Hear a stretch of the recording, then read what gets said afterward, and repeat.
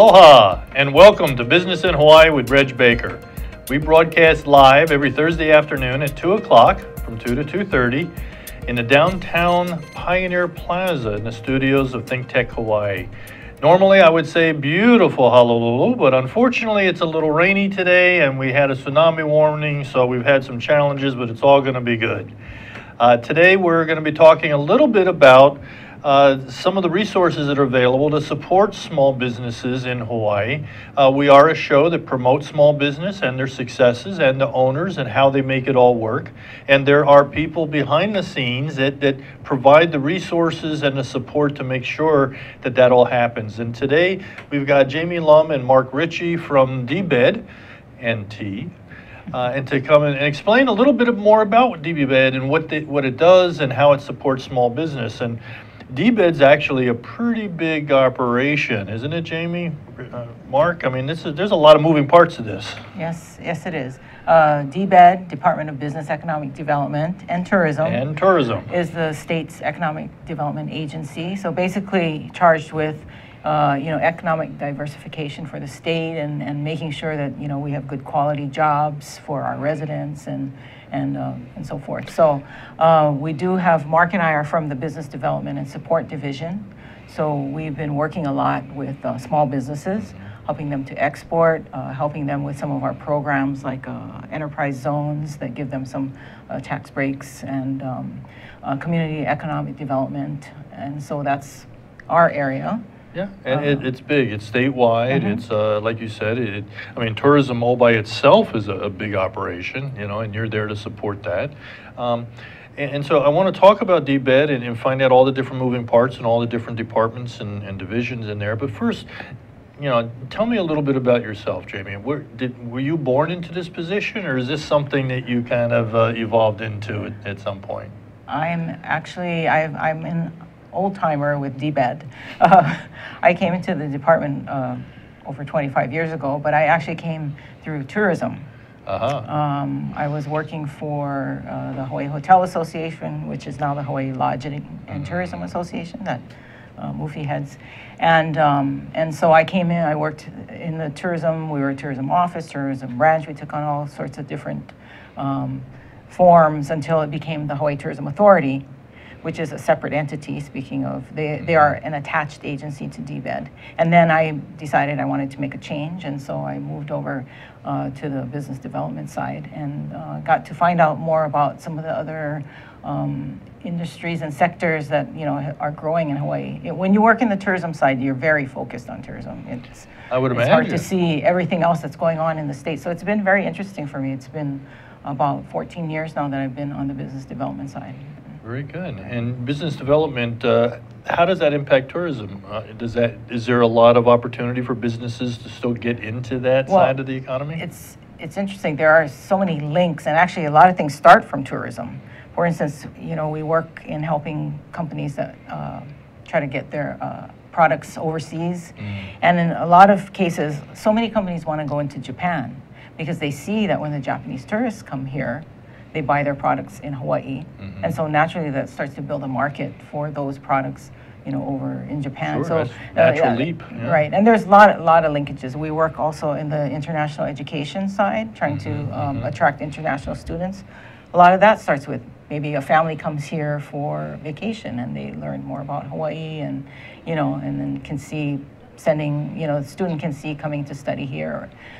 Just well, a lot of it's, it's a nice middle ground too for people to send their, their students from the Asian Rim to Hawaii. It's a nice transitionary place. You know, it's got cultures from different sides of the ocean and, and it's comfortable for them and, and right. they can get that foreign exposure that the parents are probably looking for. Exactly. That is one of our selling points. Mark, um, you've, you've done things in the past as well, right? Uh, yes, I've, uh, I've been at DBED uh, just a little over three years now. Prior to that, I was working at a life science startup company or small company in Hawaii. Uh, and then prior to that, I was doing some economic development work uh, in Hawaii. And then prior to that, originally from uh, Northern California, I worked in Silicon Valley at a big Silicon Valley company, Silicon Graphics. I don't know if people remember that company. Uh, and then doing economic development work there. So I've kind of been worked for a large company, startup companies, and then also uh, economic development work. Well, you know, and that sounds like a perfect fit for, for business development in Hawaii too, because these are some of the industries that we've been looking at for quite a while. Right, right, right. And I've sort of seen it from the uh, small company side, uh, and uh, and then also kind of seen what other sort of governments, what other sort of economic development entities have done in other places as well. So a little bit of kind of what works, what doesn't, that type of thing. Very good. And you've been at DBED for three just, years? Just a little about over three years. I think in November it was three years. Oh, congratulations. Thank you. Right. So, you know, you're both from DBED. You've been there for a long mm-hmm. time. You're relatively new. But, you know, I, and I've been in Hawaii for since early 70s. And DBED's always been out there. They've always been doing things, and they've they've gotten bigger, and they've done more and more. Um, but not only are they involved in the actual, you know, I guess the economic development arm for the state, but they also provide a lot of resources to help businesses um, tap into those opportunities too, don't they? Yes, definitely. Um, maybe start. We some of the programs that our division does is um, I think as Jamie mentioned earlier, uh, we work at the Enterprise Zone program, which is basically in exchange for companies uh, increasing the, the the number of employees they have in sort of economically distressed areas of the state. They they can get tax incentives, and so that's a very active program that our division runs. Let me ask some questions about that as we go forward, if you don't mind. Um, okay, enterprise zone. So there are going to be areas within the uh, the borders of Hawaii on the different islands Right. um, that are identified as special areas that need some economic development. There's a, it's basically, it goes by census tract, and then there's a very specific formula, which is a little bit complicated. But you always have to go back to the last 10-year uh, census for, for the statistics on that. And then it's a county-state partnership, and the counties actually choose the zones. Uh, our planning folks will show which areas of the state are eligible according to the definitions, but then the counties actually uh, designate the zones, and then the governor approves of that. And those zones last for 20 years. And this program really started back in the early uh, 90s. So a lot of those zones now are coming up for renewal. So there's been some some tweaks and changes. Some some islands are very successful, like Maui. They're actually losing census tracts because because they're doing well. Well, and so it they're no longer. It works. It worked. yeah, it worked, and that, that's exactly what you want to have That's happen. exactly it. Yeah. But once, once the county and the state get together, they collaborate, they identify the area that this enterprise zone is going to be located. What's available in that zone? What makes it so attractive? Well, it, it depends on which uh, zone it is. Some zones are very different. Some are pre- uh, predominantly like ag kind of areas. Some are kind of urban areas. Uh, our Kaka'ako area here on Oahu actually is in an enterprise zone. And that was uh, way before a lot of the, the condos and a lot of the current development you see. That will no longer be eligible when that zone uh, expires here in a couple of years. So those tax incentives uh, will no longer be available there. So depending upon the type of zone it is, it would be different type of incentives to promote whatever it is that they want to promote there. Right, and also according to the, the enterprise zone statute, there's, there's, uh, it's only available to certain types of business activities, now there's certain industries. So ag is one of them, manufacturing, wholesaling, and then a couple of other sort of business activities are in the statute. So it's not available to retail and some other sectors. Right, so it's specific to very what, what they want yeah. to, you know, I guess stimulate and, and to Right. grow. Um, and what are some of the incentives that's available within the uh, enterprise zone? Well, within the enterprise zone, the state offers incentives, and that would be a uh, tax credit, and that starts, and it's for seven years, and it starts at, uh, and it's a non-refundable tax credit, meaning you only get the credit if you owe the state money, but it starts at 80% and declines by 10% each year. You get a GET waiver, so you don't have to pay GET Wow. on things sold in, in the in the zone or on, on in that county. Um, and then the counties also have to offer up zones, and some of that may be uh, with the uh, property tax. You know, if you put in a new building or something, they won't.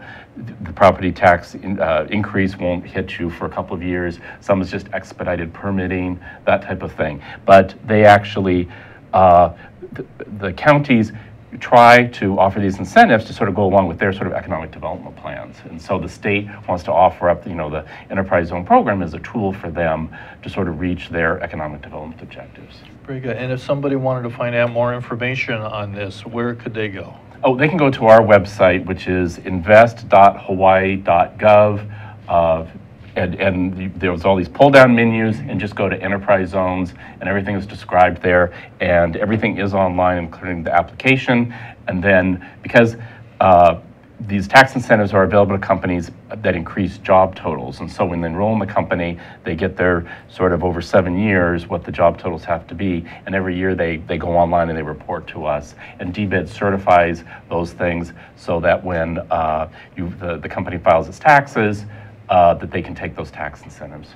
Yeah, that's it. that Oh, we the, the, the, Oh, our that's the uh, exporting. exporting program. Yep. Exporting program, which is another program that you. That's that right. You do, very good. And is that something you can speak to, Jamie? Is that- Sure. Okay. Uh, So the state has received a $700,000 grant from the Small Business Administration. Um, And the whole point of that grant is, uh, it's with- for the State Trade Expansion Program, STEP grant. Uh, For us, we call our program, we've labeled it HiSTEP. Um, And it's to help companies uh, that are interested in exporting, get into exporting, and those that are already exporting to expand. Very good. So Well, and I would imagine that, uh, there may not be any percentages or demographic information on this, but I would imagine a lot of the companies in Hawaii would like to export if they're producing something. I mean, why not? That's just an extension of their market. Sure. You know. I mean, it's definitely a way for them to grow. Yeah. Always a limited market. Yeah. And so, And, and the HiSTEP program is designed, and we have three components to it. One is sort of the export uh, training and counseling. So companies that say, yes, I want to start an export program, I think my product will be popular, let's say in Japan, but to, to let them uh, go through all the steps needed and what they have to think about in terms of regulatory environments, you know, uh, cash flow, how you uh, logistics and things with exporting.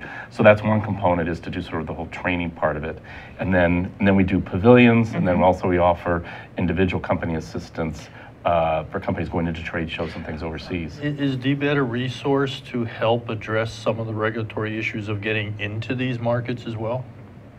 uh, I think we can be a, a voice and an advocate in helping to work with other agencies, particularly maybe the, you know, federal agencies, or, and that's actually one of the things that, um, as we try to help our companies, if they have any trade barriers, that's one of the things that we, uh, that SBA wants to hear about, so that they too can kind of help at the federal level, so. Well, and that's one of the hats that I wear is uh, I'm on the board of uh, the regulatory fairness for the Small Business Administration.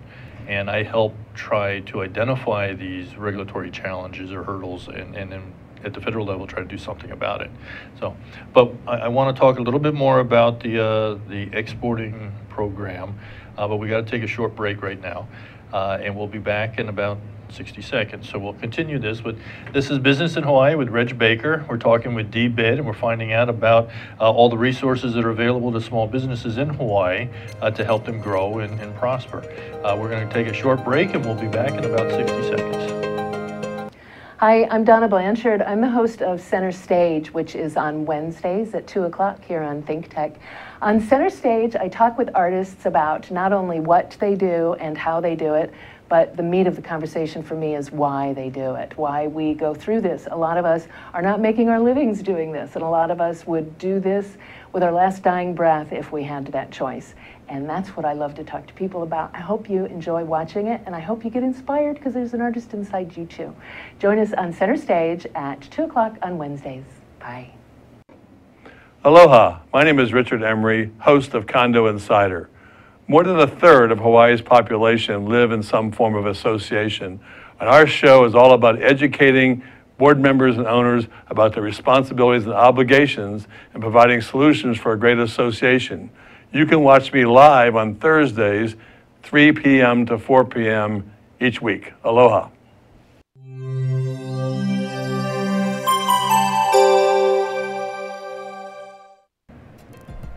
Aloha and welcome back to Business in Hawaii with Reg Baker. this uh, episode, we're talking with DBED and we're finding out about all of the resources that are available to small businesses throughout the state of Hawaii in, in trying to promote and increase the, uh, the success of their business. And we were just talking uh, about the export uh, program that DBED has and how that can really help uh, grow a business and get them to diversify into a, an international market. Uh, and so, Jamie, if if I was a business and I wanted to, to get into the exporting side of things, how would I do that? Well, under the HiSTEP program, uh, you would go to our website, Which is? which is invest.hawaii.gov, and under the exporting. Which is on the screen. Uh, there's a, you go to the HiSTEP. And uh, like Mark was mentioning, so we have our, our training component, and then we have some other elements, financial assistance and, and, and, um, and our Hawaii pavilions. But what, what we want people to do, what we want companies to do is sign up, because we're going to have a general intake form. Tell us about your company a little bit, um, about what product or service it is you want to sell overseas, what market are you interested in, um, and you know those kinds of things. And then we'll go from there. We're working closely with the Small Business Development Center and also the Hawaii Pacific Export Council. Is this a competitive uh, type of uh, Not, program? no, no, Okay. not at all. Not, not this part of it. There is a part of it that is, uh, the financial assistance is a, is a competitive part. But we want companies to, to sign up so that, uh, because we, we want to take them through the process of learning about what it, what it takes to export. Right, so it's primarily an educational and awareness program on how to, to go through the process. Right. I- Initially, yes, yes. Um, We are going to have a kickoff on January 24th. And what is the kickoff? Uh, It's uh, basically to make a formal announcement on the program. Uh, We want to invite uh, companies to come and learn more about what's involved in the program and how they can sign up and how they can benefit, um, and what, you know, what the different components are, what they can get out of it. Very Um, good. And that would be, that more information on that would be on the website as well? Yes. Okay. Would the Right. form be there to sign up? Uh, They don't have to s- sign up um, to go to this January 24th event. They don't have to sign the form. No then. registration or Uh, anything, they'll- uh, We'll have probably registration, but they don't need to fill out the form to come to this. Um, We want them to find out. So even a company about it, just thinking about Right. exporting, they haven't even made that decision yet, should definitely come to this session to see about the resources And available. where is it going to be? It'll be at the Foreign Trade Zone. Oh, well, Yeah, that's right that- downtown That's here. right. Yeah, the new close, yeah. Maxey, Homer Maxey International Trade, There'll be signs up. right, Out on the- the newer, the newer side. Okay. Yeah. Well, yeah, well, that's a beautiful building over Yeah. there too, and it's It uh, is. two or three stories, and it- it's, it's It's a nice, yeah, nice rarely facility. used. I I think it know. looks brand new. Yeah. It's- It's a great building. It is. Yeah, very good. All right, well, th- that's great. That's a, a great opportunity for somebody that's just maybe thinking about it. They could come out and learn more about it. They could find out some of the mechanics on how this works. Um, then, if they are interested, then they sign up for the program itself, and then they could go through this um, and, and get a little bit more formal in the education. Uh, and then you mentioned finance.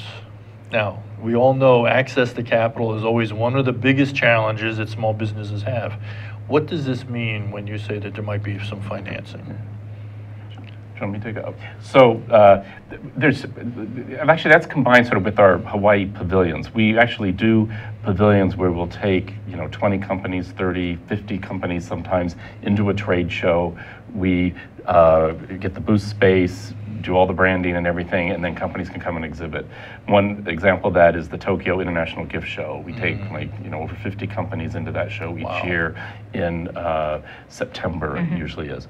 Um, but there's a lot of other companies in other industries and things where we don't do the Hawaii pavilions, um, and companies that maybe just are going overseas for business meetings and things like that. So for those types of companies, we have what we call sort of the, the company assistance program, and between $5,000 and $15,000 is available on per application for companies uh, that are that have an export development program and are looking to uh, go into a particular market or expand in a, in a particular market. And for that, there's a very simple application, but also we're looking for their export development plan. And that export development plan is we want to see how they're going to get from point A to point B. Mm. Because since this is an SBA grant and also for our own sort of state metrics and things, we're looking at increasing exports. So that is a competitive process, is that we want to make funds available to companies that we think uh, can actually get from point A to point B. In other words, increasing exports revenue and be successful in the year that those, those funds are Well, available. You've got limited resources, and you want to make sure that you give it to those that have the highest probability of Exactly. success. Right. And so there's got to be a ranking, you know, Right. that you go through Right, to do right. that. Um, How many companies do you think usually get uh, through the process and actually get an a- an award of some kind? For last year, we had over, because we did the same program last year, although the amounts were lower. It was, I think, up to uh, 5,000. Up to 6,000. Up to 6,000 was the amount. Uh, But we had uh, 72 applications we Wow. put in for that. Wow, that's good, good Yeah. participation. Yeah. Probably about, we'll- we'll end up with about 60 companies actually that actually got funded. Very good.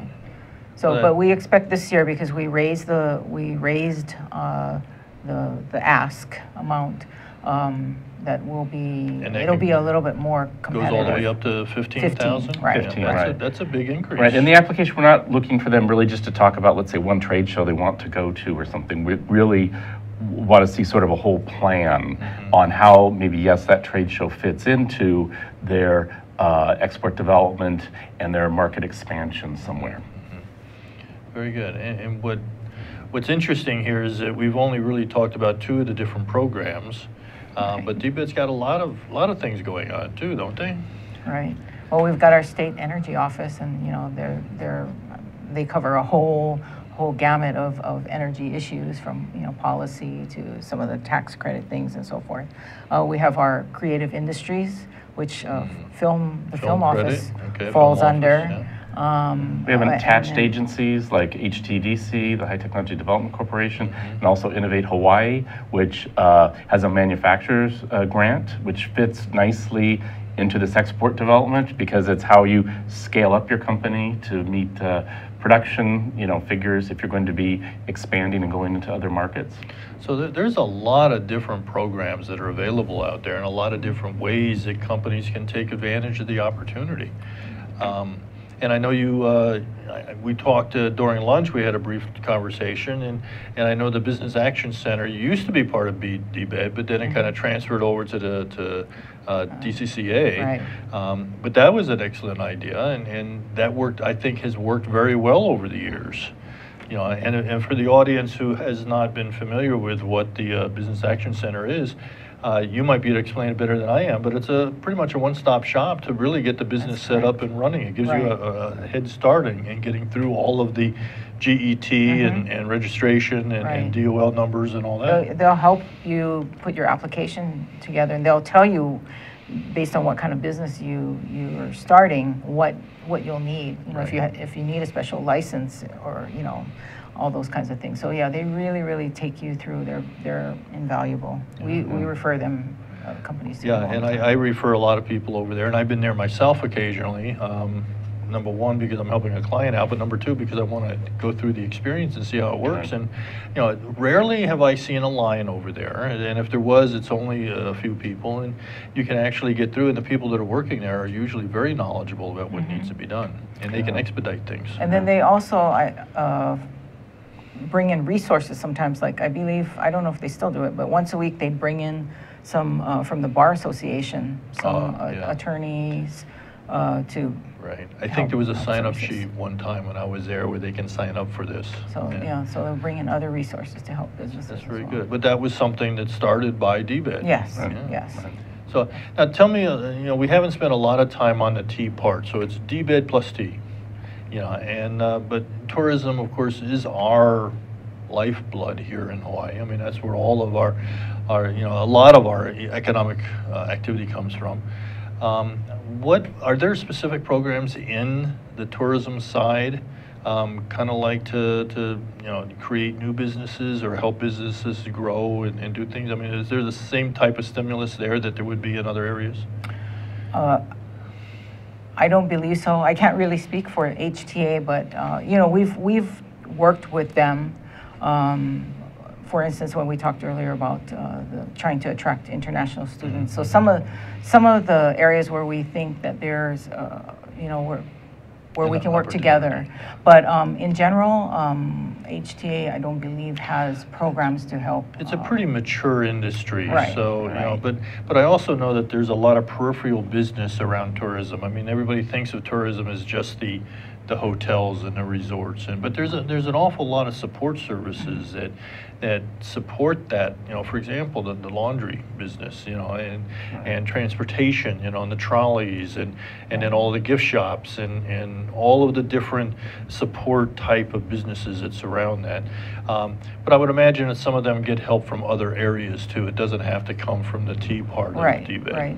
Although I will say, um, it, the program doesn't necessarily help the business itself, but they, they do have funds that help um, increase uh, tourism products so that there are more things for visitors to, to experience when they come here. Uh, When I was there, uh, I was very involved actually in, in that part where, you know, increasing the number of festivals or those types of things that Ah, are yeah, yeah. experiences for, for, um, Right. for uh, visitors. to- Puhokale is down in Waikiki. Right, and- right, and right. That sort of thing. So they do have uh, funding for those types of things, for tourism product development. Right, and now I- I'm, and and this is kind of off topic, but a little related, I'm just curious about this. Um, The Aloha Tower was something that was, uh, you know, going to be developed as a tourist destination or a point that, that that they would go to, but I guess that's all kind of changed now since HPU has come in and taken over that area.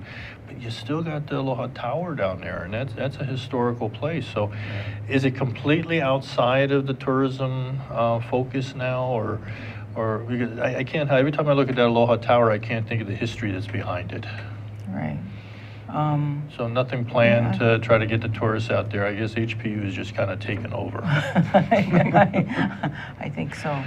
Well, but they, HPU's got a lot of international students too. Right. So, Yes. and I think from what I Right. understand, a percent, a large percentage of their student body is actually international. So there is a, a- Mm-hmm. A tourism least third or international so. piece to that. So maybe that Aloha Tower is helping with that. Right. Yeah. All right. Well, you know, we're, we're about ready to wrap up. Um, I would very much like to have you come back again for another show and, uh, and maybe we can talk more about the other different programs that are going on. Maybe you can give us an update on the kickoff that's going to be happening in July. I, I think, you know. January. January. Yes, Oh, Jan, January oh. yeah. very- So That's right, that's right around the corner 24th, then. yes. All right, well, well, then, I don't know if I can have you come back before then, but we can certainly mention Right, it. you're right. But, you know, there's, there's just so much that the DBED is doing, and it's such an important component of what we're trying to do, at least economically in Hawaii, that uh, we just need to keep the word out and create that awareness. So, very good. I th- I appreciate you both being on the show. Hopefully, Thank we'll you. see you Thank again Thank you very much. Uh, This is uh, Reg Baker, Business in Hawaii. We broadcast live every Thursday afternoon from 2 to 2:30. We focus on small business topics, uh, help businesses to grow and expand uh, and prosper here in Hawaii. Uh, Until next week, aloha, and we'll see you then.